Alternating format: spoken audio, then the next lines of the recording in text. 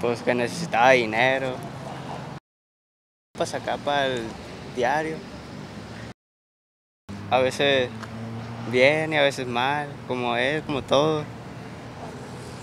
¿No les da otra cosa que no sea...? Sí, muchas veces que comida, sí, pero... pues sí, lo otro pues no rechazar nada de eso, la agarramos.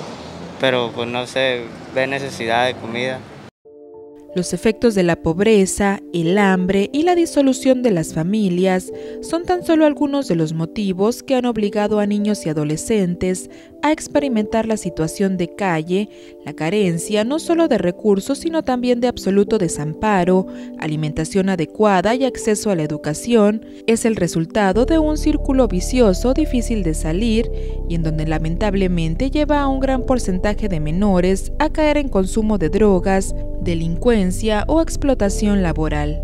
Producto de la falta de oportunidades, solemos observarlos en cruceros, ganándose el peso limpiando parabrisas o probando suerte con atractivos malabares, donde en muchas ocasiones son ignorados por los conductores que transitan por las avenidas.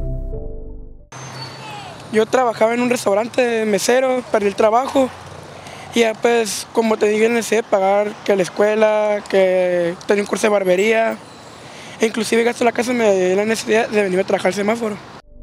Además de los riesgos a los que se enfrentan, son víctimas de estigmas, prejuicios y esquemas criminales por parte de las autoridades por considerarlos personas no gratas debido a su condición de vida que los define como delincuentes o bien como sujetos de caridad.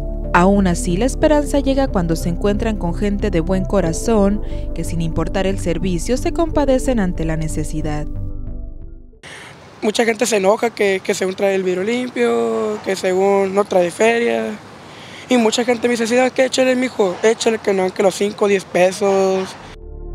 Según datos del INEGI, hasta el 2015 en México existen alrededor de 2.475.989 niños, niñas y adolescentes de 5 a 17 años que realizan alguna actividad laboral. Tan solo en Los Mochis se encuentran registrados ante el sistema DIFAOME 71 adolescentes menores de 15 años en situación de calle cifra que disminuye en el municipio de Guasave, donde según el procurador solamente se han detectado 18 casos. La población infantil y adolescente experimenta la pobreza en una proporción mayor que la ciudadanía en general, sobre todo a partir de los 0 a los 17 años. Cifras recientes indican que alrededor de 21.2 millones de niños presentan carencias y viven sin acceso a los recursos monetarios suficientes. Sin embargo, aunque reciben apoyo por parte de algunas instituciones que se han encargado de brindarle los servicios necesarios a través de diversos programas educativos, estos señalan que en ocasiones los infantes llegan a recabar entre 200 y 600 pesos diarios según la temporada, lo que no los motiva a fomentar su educación. Somos muy generosos, ellos, los niños nos dicen es que aquí gano 500, 600 pesos diarios, súmalo por 30 días y se incrementa más los fines de semana porque pues cuando todos nosotros salimos y pues les das el dinero. Si llegan hasta tu parabrisas, permítele realizar su trabajo y bríndales una moneda que quizá ayudará para su alimento del día.